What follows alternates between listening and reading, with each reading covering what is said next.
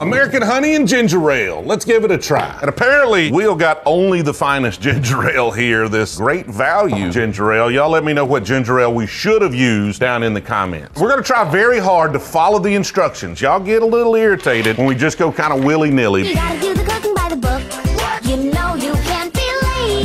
But it says fill a highball glass with ice. So we're gonna fill it. An ounce and a half of American honey, and we're supposed to fill it up with ginger ale. Squeeze a lime wedge, drop it in there. And now we have American honey and ginger ale. It's not enough honey. That's why we don't follow recipes. I don't know, like it just said a highball glass. Is this a highball glass? But it's not enough honey. Otherwise, the flavors are good. It's just a little light. Oh, that's solid right there. That's a good cocktail. So, yes to the drink, no to the ratio.